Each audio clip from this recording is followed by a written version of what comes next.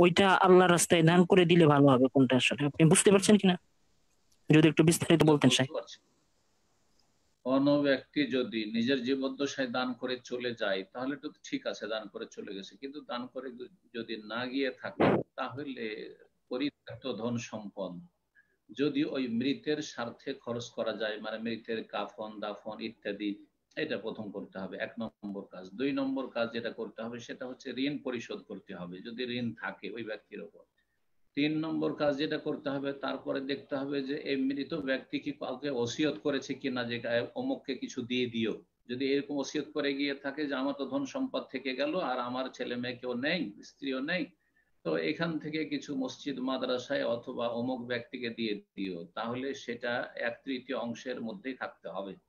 তিন নম্বর হয়ে গেল। চার নম্বরে তখন এখন তাকসিম হ্যাঁ ভাগ বন্টন হবে, ফারাইজ করতে হবে যে কে কত পাবে। এই ক্ষেত্রে নিকটবর্তী আত্মীয় থাকতে দূরবর্তীরা পাবে না।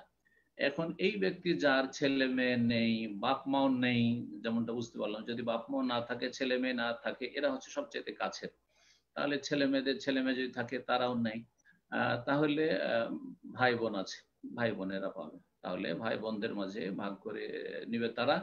তারা যদি মনে করে একসাথে হ্যাঁ নিজেদের সম্মতির সাথে একমত হয়ে যে আমরা কিছু এই ভাইয়ের নামে দান করে দিই আর তারপরে ভাগ করি, তাহলে সেটা জায়েজ আছে, সেটা জায়েজ আছে। কিন্তু যদি তারা মনে করে যে আমরা ভাগ করব না আমরা দান করব না পুরোটা আমরা ভাগ করে নিয়ে নেব, সেটাও জায়েজ। জাজাকাল্লাহ বারাকাল্লাহ ফিকুম। তো ইনশাআল্লাহ আজকের প্রোগ্রামের শেষ, সর্বশেষ প্রশ্ন। ফরহাদ দৌড়ি আপনি প্রশ্ন করুন।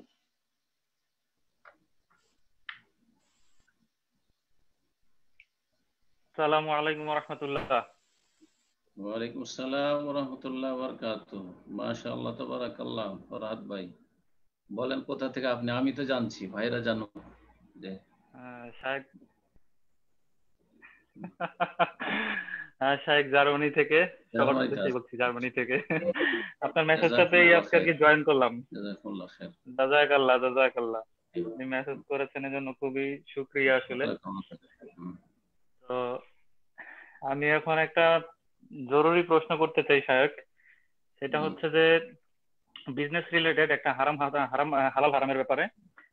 একটা পঞ্চাশ জন লোকের একটা অংশীদারি ব্যবসায়। সেখানে বেশ কিছুদিন আগে প্রায় দশ, এগারো জনের মতো একটা গ্যাপ হয়েছিল। কয়েকজন অংশীদার চলে গিয়েছিল। তো তাদের পরিবর্তে নতুন এগারো জন অংশীদারকে জয়েন করিয়েছিলাম আমরা। তো একসাথে ব্যবসায়ের প্রথমে আমরা যে টাকা দিয়ে ব্যবসা ছিলাম তো প্রায় দুই বছর পরে গিয়ে সেই ব্যবসার মূল্য মানটা একটু বেড়েছে। তো স্বাভাবিকভাবেই আমরা যে নতুন এগারো জন শেয়ার হয়ে এক লক্ষ টাকার ক্ষেত্রে ততদিন পর্যন্ত কোনো সমস্যা ছিল না। মানে যে আমরা একটা শেয়ার বিক্রি বিক্রি আমরা যেই দামই বিক্রি করি এখন সেই ক্ষেত্রে তখন পর্যন্ত সমস্যা ছিল না। এখন একটা সমস্যা হয়েছে। জি স্যার এখন সমস্যা হচ্ছে ওই শেয়ারের কোনো মালিক মালিক ছিল না। তাই যে দামে বিক্রি করেছি, বিক্রি করতে পেরেছিলাম। কিন্তু এখন রিসেন্টলি তিনজন শেয়ার হোল্ডার চলে গিয়েছে, তাদের শেয়ার আবার অন্যত্র বিক্রি করেছি।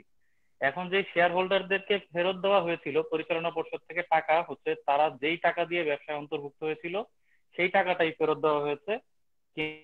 কিন্তু ওই তিনটা শেয়ার বেশি এখন এই বেশি টাকাটা যে নেওয়া হয়েছে এটা ব্যবসার মধ্যে রেখে দেওয়া হয়েছে কিন্তু যাদের শেয়ার বিক্রি করা হয়েছে তাদেরকে ফেরত দেওয়া হয় নাই এই বেশি টাকাটা।